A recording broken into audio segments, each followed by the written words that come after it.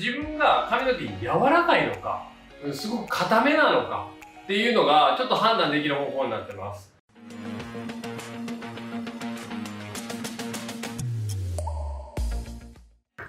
どうも皆さんこんにちは。渡辺です。今日はですねあの自分で髪質のチェックをする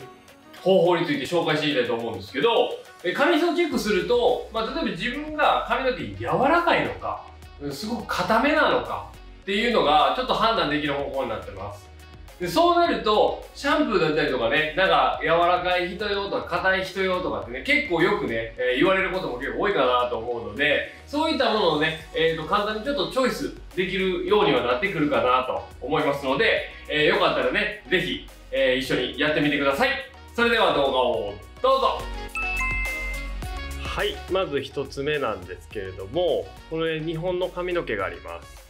でまっすぐね立たせてる状態で持ってるんですけどこのね黒っぽい方の髪の毛あるじゃないですか。こっちの髪の毛。ちょっとね髪の毛がピーンって立ちそうな感じ。これがね髪の毛がね剛毛硬い髪の毛の部類に入ります。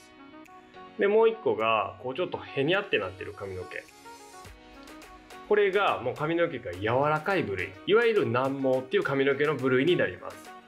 まず、えー、このねこう立たせてる状態で一番最初は判断していきます。次にこの2本の髪の毛を指に巻きつけていきます。くるくるくるっと。まあこんな感じでね。ちょっと分かりやすいようにちょっと2本でやってます。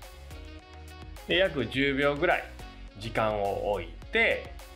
この巻きつけたのをほどいていきます。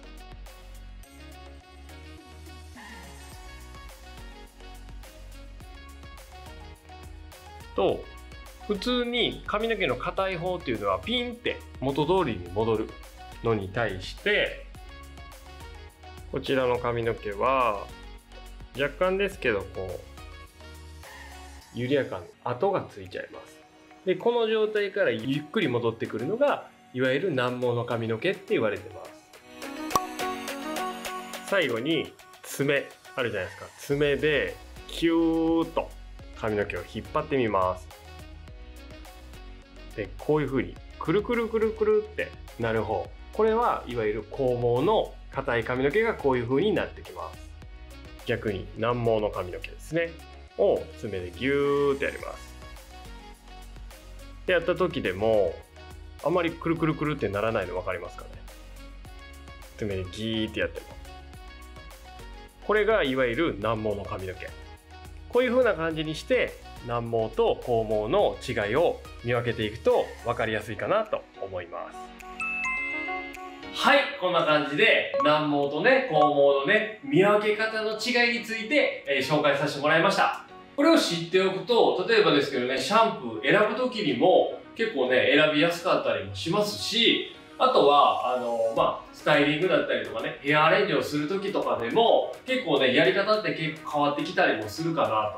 と思いますのでまずね自分でちょっと判断してしたりとかあとは美容師さんにね判断してもらうのもベストかなと思うんですけどちょっとね実験っぽくね自分の髪の毛でどっち寄りなのかなと思って、えー、やってもらえるのもね面白いかなと思いますのでよかったら参考にしてみてください。この動画ねよかったらグッドボタンと、あとチャンネル登録もよろしくお願いします。それではね、また次回の動画で会いましょ